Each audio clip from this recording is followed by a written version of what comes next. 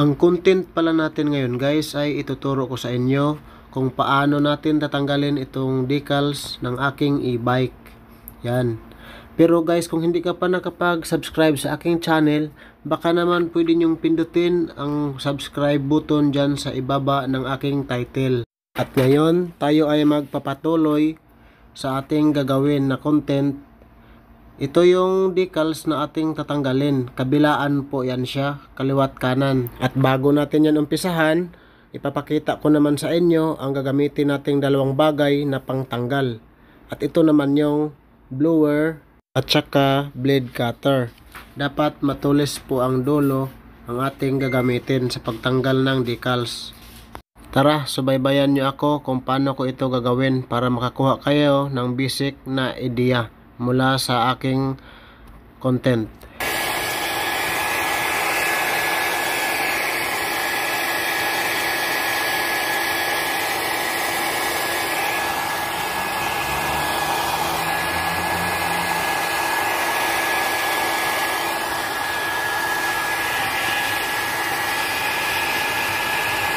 Yan, mabilis lang yan tanggalin mga lodi kapag nainitan yan.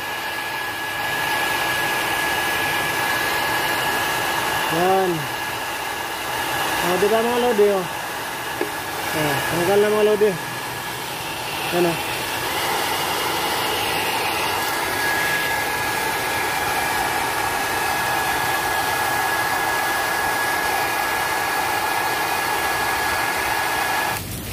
Yan. Fast forward lang natin mga lodi para mabilis.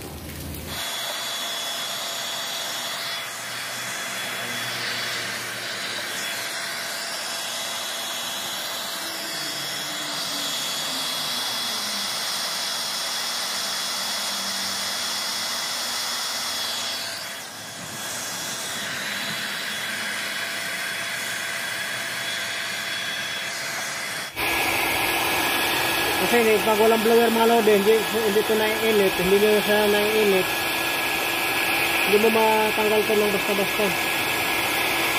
O, diba?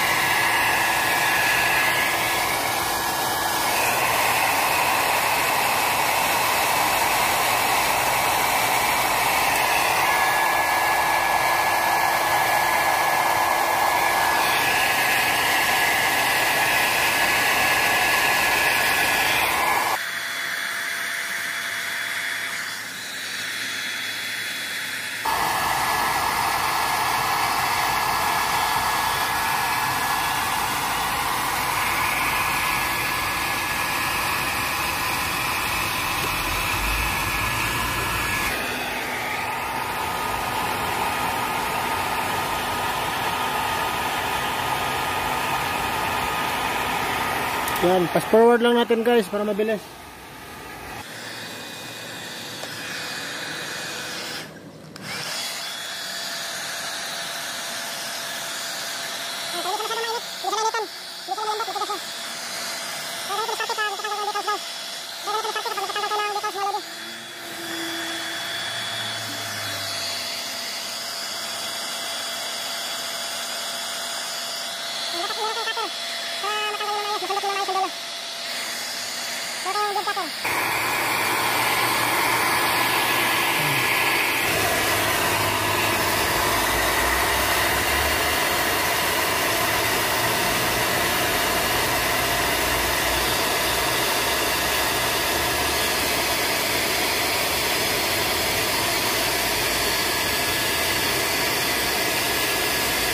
Yan, kapag nainitan yan siya, mabilis mo lang yung matanggal.